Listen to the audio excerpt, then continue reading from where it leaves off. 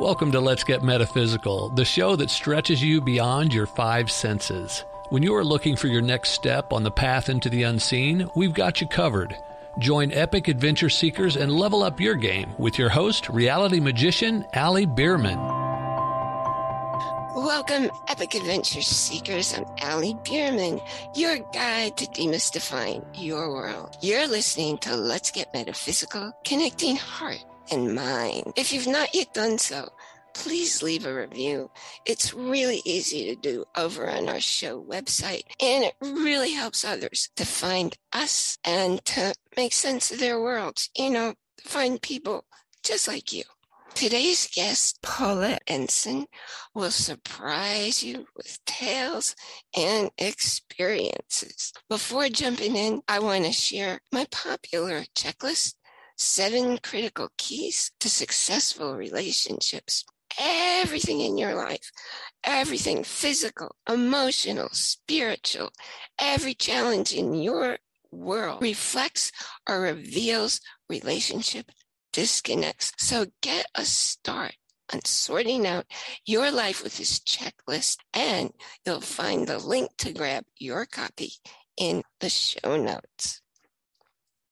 Paulette Ensign started her professional journey teaching stringed instruments, the kind you play with a bow, to elementary school kids. Next, she became a recognized leader in the burgeoning organizing industry. Not content simply to do and share, her creativity launched her into a new career. I mean, a totally new original track, creating tips booklets and other non traditional products that went international while rocketing her career as an organizer. Being recognized as a speaker in that new industry. Not one to sit back and watch life go by. Paulette spent 40 years, that's four zero years, investigating the esoteric teachings of metaphysics. As her metaphysical awareness expanded across her life, she discovered more joy, calm, and groundedness filling her world. Prepare to smile lots, discovering all kinds of fun facts. And I highly recommend putting away any multitasking that you're doing because you don't want to miss anything. And for those of you who aren't watching the video, go over to the show site and take a look because Paulette has a dynamite smile. So, welcome, Paulette, to Let's Get Metaphysical, and we certainly will. Ali, thank you so much for inviting me. I'm looking forward to sharing today. I'm just excited. I, I, love being in your energy. I love when people share about following their heart, even when it takes them to uncharted territory. And that's really an understatement in your case, since the organizing industry was really just sprouting. Yes, it was. It wasn't more than about five years old when I started my involvement with that industry. It, it's very cool because I know a friend who's a professional organizer. I have another friend who I think I've known her 20 years and she spent all this time telling me she's organizing her stuff and sometimes she's paying someone to do it. So I don't know where you ever are people, either they are organized or they aren't, or there are sometimes people in between. Oh, absolutely. Absolutely. Like like any other field, you're going to find a very wide range of people and their approaches to things. It's fascinating that early on there were already 26 different um, different categories of organizing in the first five years. And I've been away from it now for quite a while, although I do have some very lifelong friends, close friends, uh, friendships that were made and started during those years of my involvement with the industry. It's really fascinating. I never thought about there being different areas. I know, like, I organize my home. I know it's in every drawer. I organize my papers. I, I never thought people organize their businesses, people organize their personal. What are some categories that are, might not be so obvious? Well, there's subcategories because children definitely from early on, their rooms can stand to be organized. And as they go through the educational process, uh, their time management for homework and play and eating and sleeping and things like that. And then there are various industries. There are people who have come from other industries like the legal field who have then turned their knowledge and experience around to specialize in organizing law firms or in medical offices or in corporate environments. I mean, and then when the computer came on, that was a whole new territory to, to go through. Uh, organizing your computer files as crucial as organizing your paper files.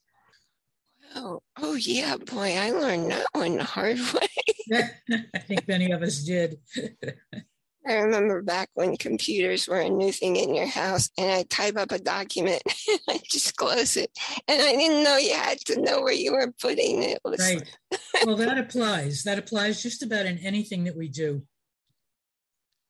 Makes sense. I also love your referral to kids.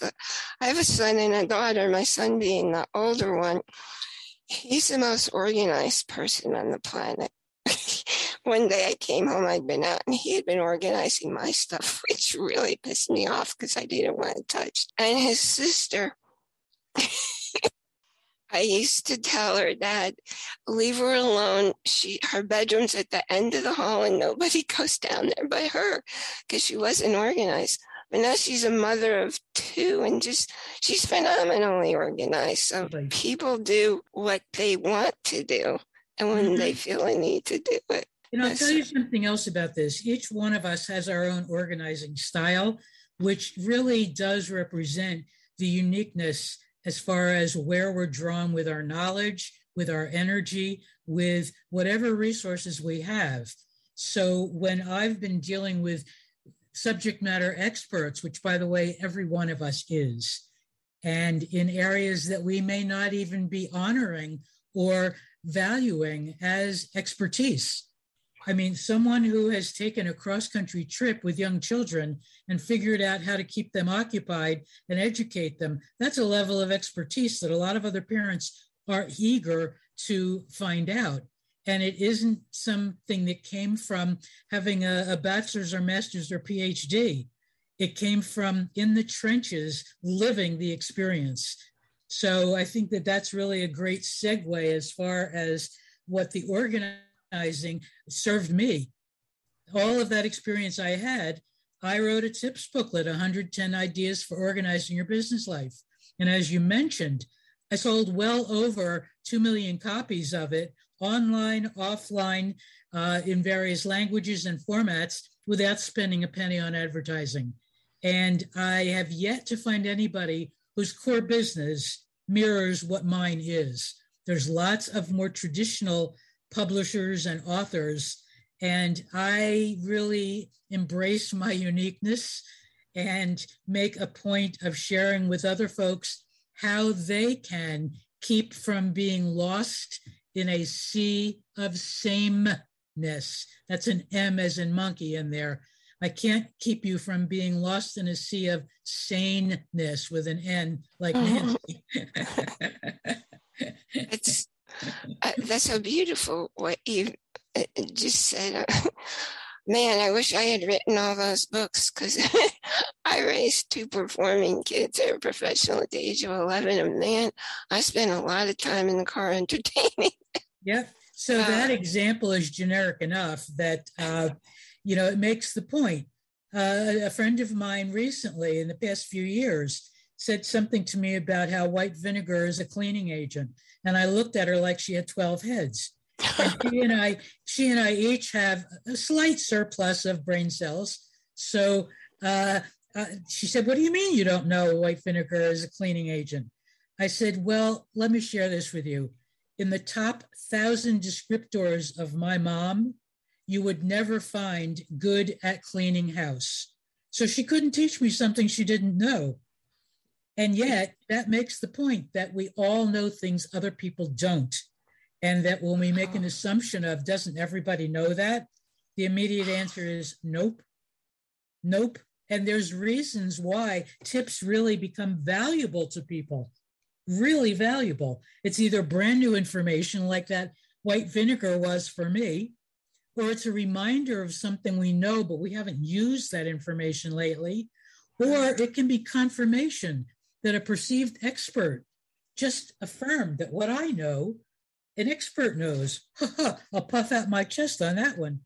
Wow, that's, I'm just sitting here and my mind is creative like yours. And I'm thinking, man, I could write tips booklet on this and this and this and this. And I'll tell you something, I've seen a lot of folks get sidetracked because of that abundance. And that, you know, it's it's a blessing and a curse. Mm-hmm. Because having been um, as experiencing whatever level of success I have, in these 30 plus years in this business, a large part of that comes from focus and from strategizing. So that when someone says, you know, I could write 30 booklets, even on the same topic, you know, of first starting at the most basic level, which is what I heartily encourage, because people are coming to you for the first time in your expertise you know a lot about certain things that other people don't. So, starting at the most basic level is the best gift you can give them.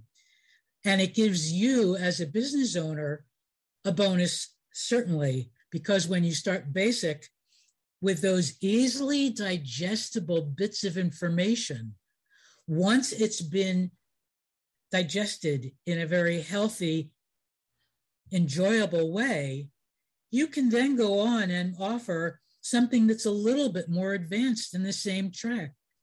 So you have your customer coming back to you. So that's building a good business foundation.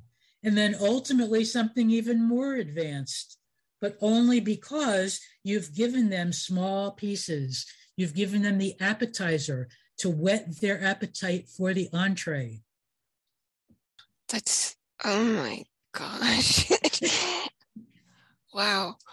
Wow. Every time I talk with you, I'm blown away again and again and again. And I'm thinking, I've written more than a thousand articles. On Ezine articles. I've written 80 books. I have over 800 videos. I can make tips booklets that would be easier to circulate in large numbers than all of, oh my gosh, instead of spending all the time in the social media time.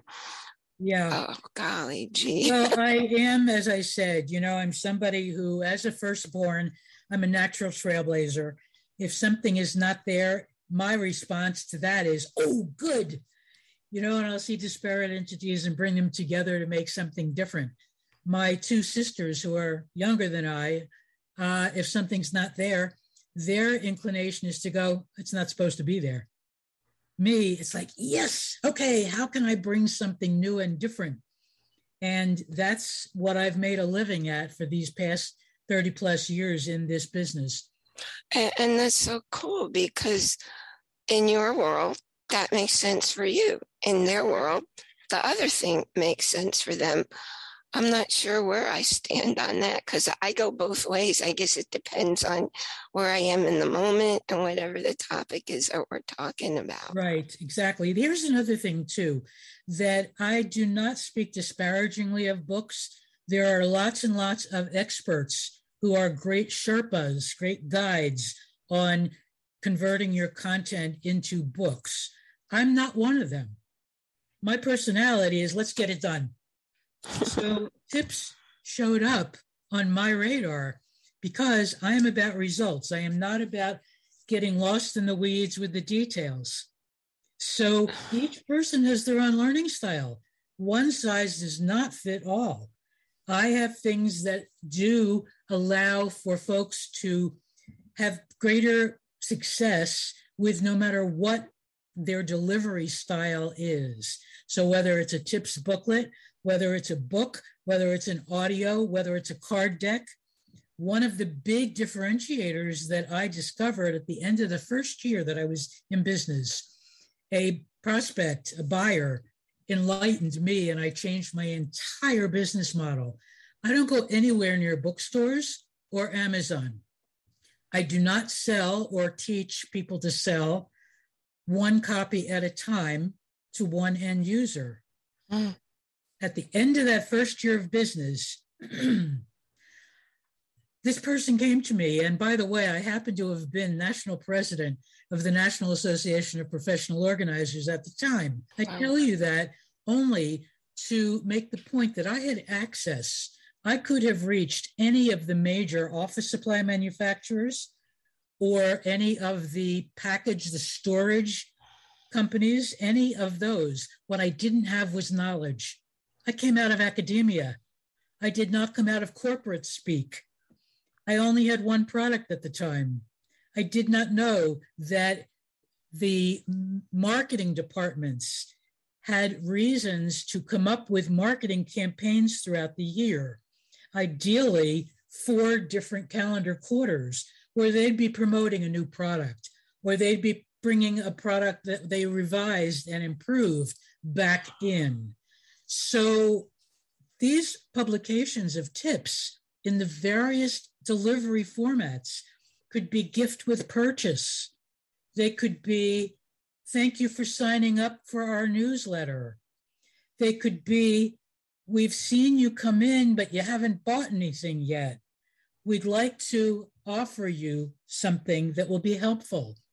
From that point on, I only sold in bulk or as licenses, where we would rent the information in exchange for payment. Dripping a tip a week, 52 tips, a corporation could drip a tip a week on their list to stay top of mind without being totally annoying. It was educational marketing.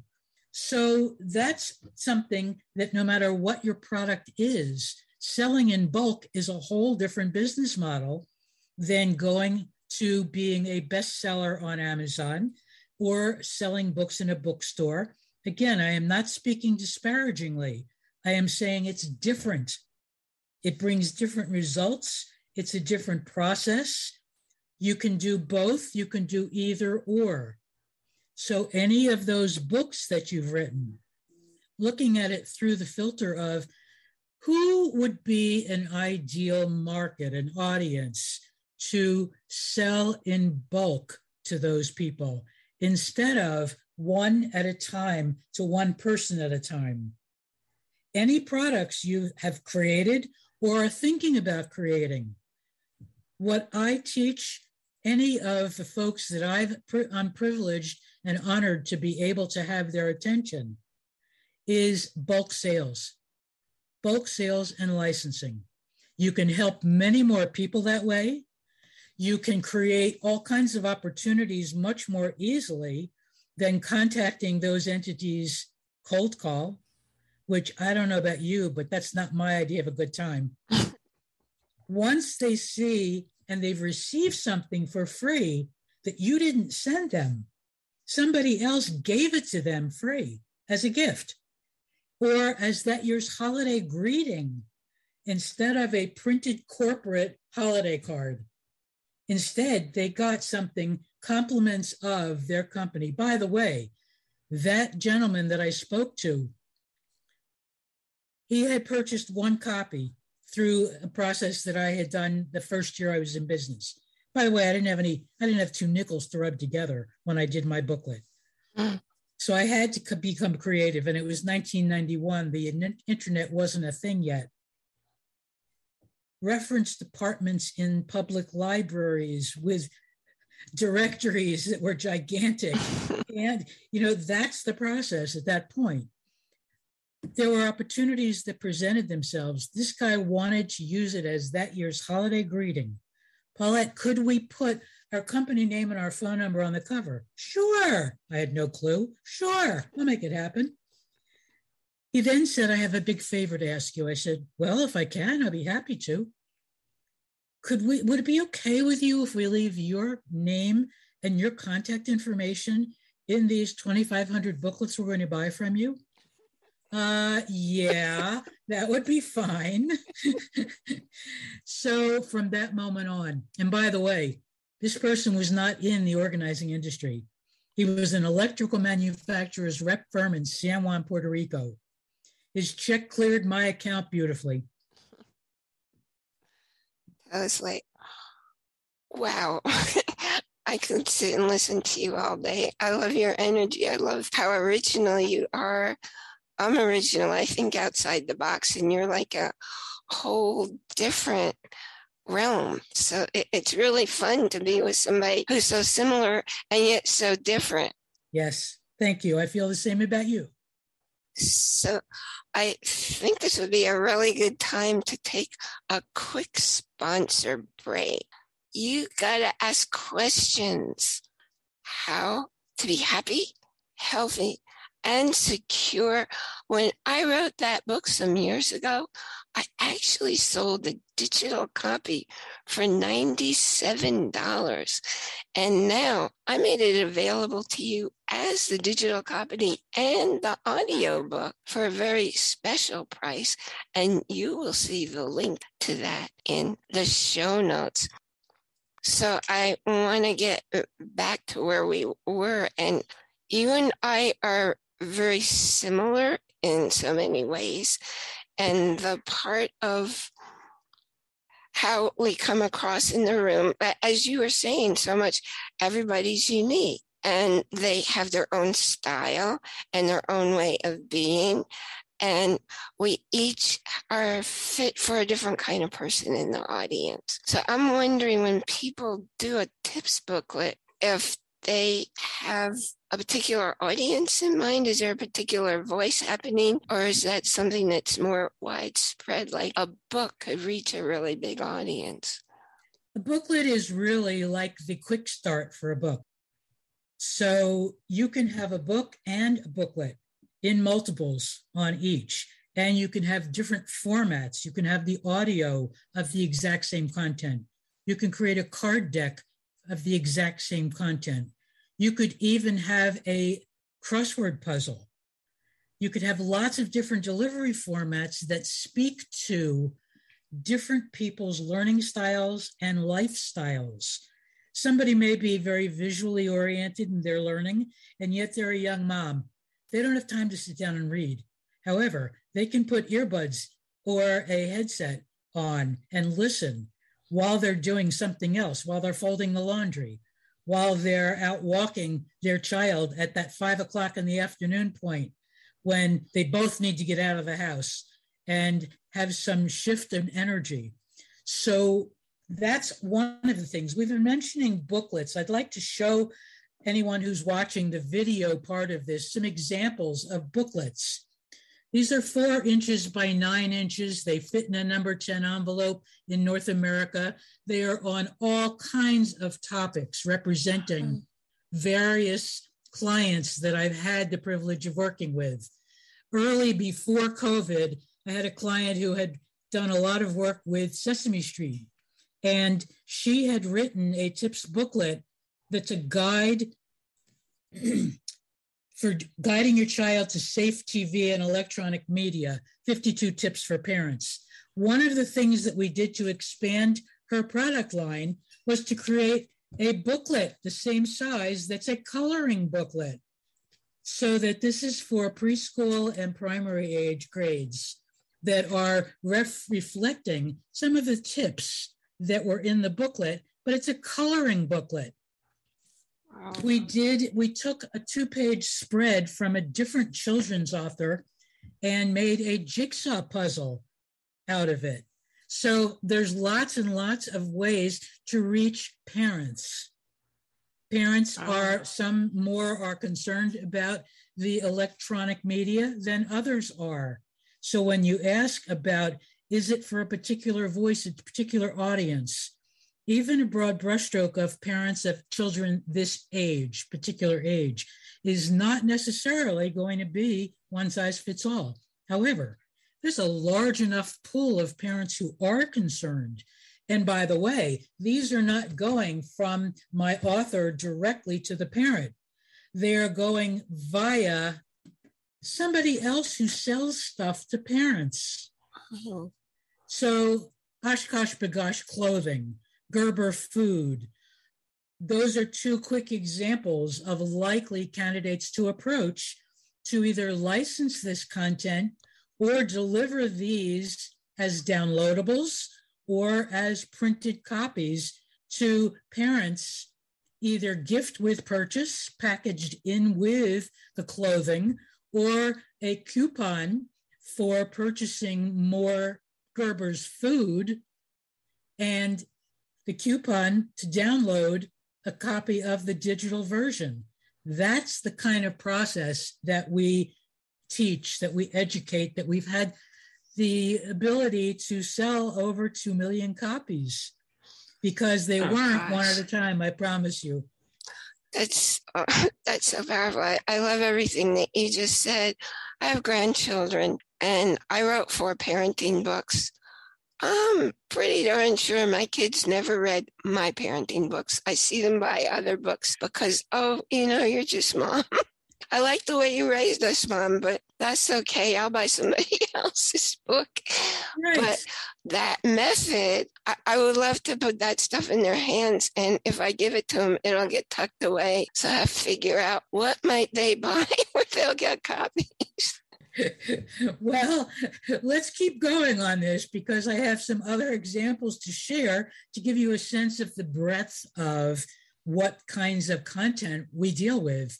There's a physical therapist who had been following my work for many years, mm. and he's been trained in a certain methodology for uh, dealing with joint replacement and joint health. So he did a booklet self manage knee pain 52 tips before considering uh, injections or surgery. So that is an example of the kind of approach he takes with the patients that he has in the in the um, in the physical therapy realm, and he happens to work under the umbrella of a large system of therapy of physical therapy clinics, he went to the owner and said, "Imagine if the physical therapists in these locations around the country gave this away or offered it for a first visit." And in fact, what he found out was that it's a lot of general therapists or orthopedic surgeons or those practice practices that are making referrals to PTs, to physical therapists. So to find out where the origin is of the dissemination of information, and there's lots and lots of places. There's equipment people, any of the equipment that you see in a physical therapy environment, for them to purchase a very large quantity of thousands, hundreds of thousands, and even millions of copies to distribute with each of the um, each of the equipment deliveries that occur. You know, so it goes on endlessly. I have a physical therapist there that I mentioned. We've got a financial planner who talks about lifestyles beyond just the money investment. What happens when one person in a couple retires before the other? How do you not drive each other crazy and ultimately kill each other? um, what is the dynamic going to be at the highest level of a person's being so that you contribute positive vibes to each other. And that, yes, you do have enough resources of every imaginable kind, financial and more. Are both people on similar spiritual levels to be able to communicate effectively? and bring the best of each other out rather than going old school, blaming, guilting, doing all that stuff that gets us nowhere but separate and unhappy and all that other junk that we, you and I, and our listeners are committed to as far as living a happier, stress free life where we bring the best of ourselves, that version that is just so joyful and productive and generous rather than scarce and fearful and all those other things. one more, and then we'll keep going on some other stuff, I'm sure. I had a client who had been very, very high up the ranks at IBM in their sales department. And he traveled around the world training other sales teams. And in the process of that, he got sick because the stress of traveling so much and finding good, healthy foods and getting good sleep and supporting his own physical being was under attack by virtue of all this travel and different time zones and not being able to get the healthiest foods and exercise and all of that, and the energy on the airplanes. So, in the process of finding his own health and getting back to his own health, he realized that homeopathic uh, remedies were the solution for him. And he realized it to such an extent that he decided to go become a naturopath. And the booklet is a short version of the full book that he wrote. Someone had introduced him to my work, and we created this booklet Travel Balance 52 Tips to Stay Energized, Healthy, and Balanced While You Travel. This ended up being as useful for people who are doing leisure travel as well as professional travel. So it goes on and on and on. And you notice maybe the 52 tips as a theme that was recurring because 52 tips, there's a reason that that's the model. Mm. There's 52 tips, 52 weeks in a year. It lends itself to learning on a gradual basis. It lends itself to staying in contact with people on a regular basis without annoying the living daylights out of them. It allows for digestion of a tip in a way that allows us to be expansive. Yes, I understand that one tip. What's next? I've incorporated that one tip. What's next? How can I grow? How can I bring this to people so that it's not a fire hose that they're drinking out of? Because less is more. Less is more. If you imagine this situation, and I'm sure that this will resonate with everyone who is hearing this interview or watching it, imagine that you're going to a party and the inevitable, well, what do you do? What do you do? What do you do? so let's just imagine for grins and giggles that there's a uh, very well known local financial planner who is boasting about the fact that she's writing a book, a tome that is inclusive of every financial instrument that currently exists. Uh, unwittingly thinking that she's really bringing a fabulous gift to the world, when in fact the people around her are loath to say they barely know how to add a deposit and a withdrawal from a handwritten check register to keep track. So the next thing we see is people being as polite as possible, but you see the back of their head because they're in such overload. Just the thought of all that in depth financial information about investing and about having your money work for you and things that they just, they're intelligent in other ways, just not financially. There's time to get there, though, over time, eating the elephant one bite at a time. Tips booklets. That's so brilliant. I'm just, I'm so grateful that we met because I've learned incredibly much today. And now um, I'm being mindful of the time, and I want to bring together why you're such a perfect fit for the goal of our audience in terms of the metaphysics and the invisible forces driving our life. Would you please explain what you describe as your business superpower? I sure will. And I think that it fits perfectly and it's reflection of what I have learned. That is awareness, consciousness, mindfulness. Those three aspects are how I learned to expand my product line, to deliver it in different ways. Wow. I would look and I would notice things. I was in a restaurant and I saw a box in a high end restaurant. I saw a box, a wooden box of children's books. My brain went to I have a children's book author.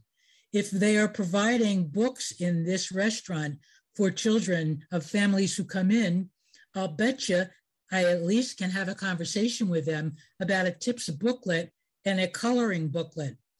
So that is an example of awareness.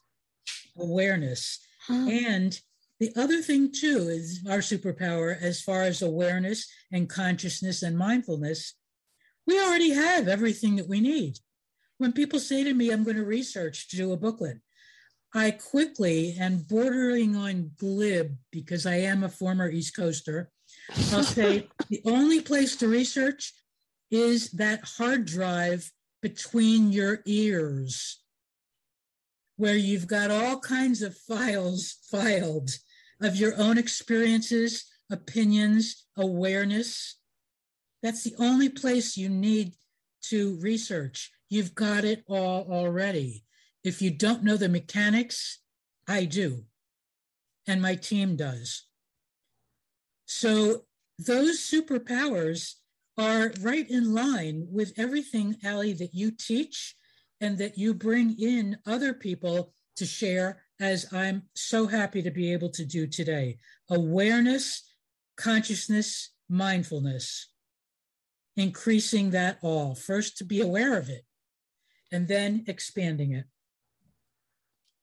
I'm so grateful for all that you shared with us today. And um, you you shared so much. Whoa, I gotta write this down stuff. Is there a message that maybe you haven't had a chance to deliver yet that you'd like to leave with everyone? Well, if there were surprises that I find with subject matter experts, I have a hunch our audience falls under this category. There's a concern that tips are too little information rather than the ideal start. Mm. There's an initial fear of going a non traditional path like bulk sales and licensing. There's a willingness that is necessary of subject matters to integrate the metaphysical because they wouldn't be part of your audience if that wasn't part of them. So bring that aspect to wherever you are distributing, wherever you are approaching.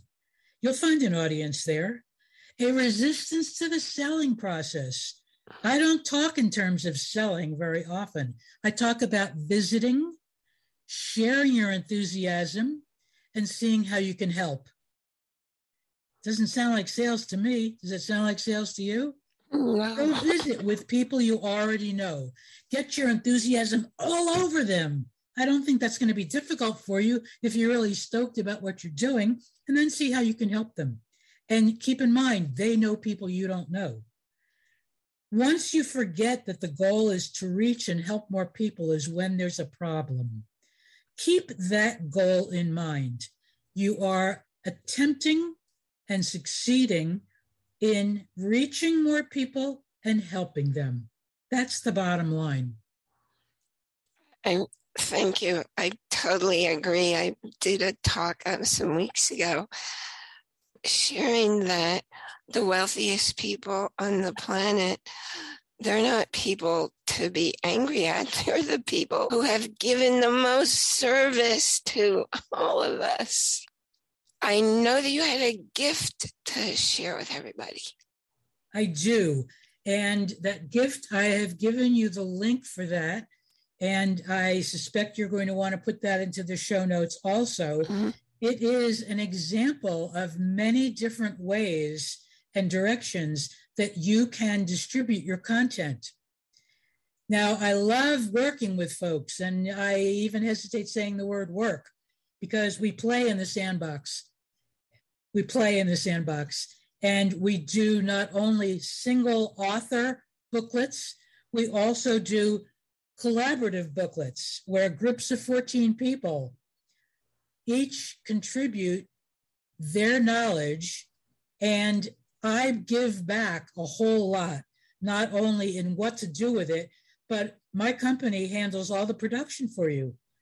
So we teach you a lot that can be utilized in whatever else you're doing with your, your business and your knowledge. Thank you. I, I just love spending time with you.